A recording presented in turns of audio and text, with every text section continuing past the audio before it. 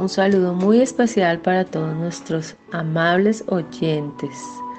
Continuamos esta semana y damos gracias a Dios porque comienza el lunes, porque comienza una nueva semana. Gracias por el amor del Señor. Y continuamos con los dones del Espíritu Santo, el cual quiere el Señor perfeccionar en cada uno de nosotros. Primera de Corintios capítulo 12, versículo 10. A otros el discernir espíritus. Es importante aprender a discernir y movernos en la unción del Espíritu, que podamos estar atentos a la voz del Espíritu Santo de Dios, que podamos cerrar nuestros oídos a otras voces y solo podamos escuchar la voz de Dios sobre nuestro corazón para poder ser guiados con su luz y con su verdad.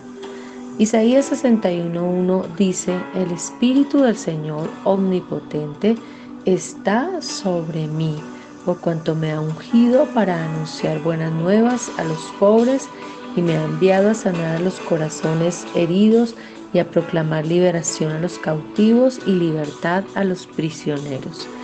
Quiero que sepas que el Espíritu de Dios está sobre ti. Muchas personas dudan de que el Espíritu de Dios está dentro de cada uno de nosotros, pero yo quiero afirmarte y confirmarte hoy que el Espíritu Santo de Dios habita en cada uno de nosotros porque la palabra del Señor dice que somos templo del Espíritu Santo de Dios. Por eso discernimos por medio del Espíritu Santo de Dios que nos guía a toda verdad, para que podamos entender cuál es su buena voluntad agradable y perfecta. Hoy te quiero invitar para que tú aceptes y recibas y creas que el Espíritu de Dios está dentro de ti para buenas obras. Entonces yo quiero invitarte para que oremos y pongamos en manos de Dios cada una de las vidas que me están escuchando. Señor, te damos gracias en esta hora porque hoy recordamos y reconocemos que tu Espíritu Santo es el que nos guía a toda verdad. Por eso, Señor, hoy con el discernimiento que tú nos das, te damos gracias porque somos templo del Espíritu Santo de Dios y el Espíritu Santo es el que nos guía. El Espíritu de Dios es el que tiene nuestra vida en control, nuestra familia.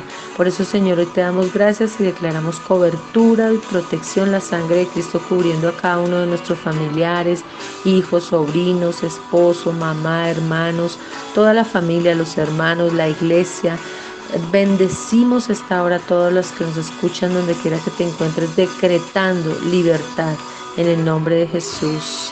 Amén. Un abrazo grande y un feliz lunes.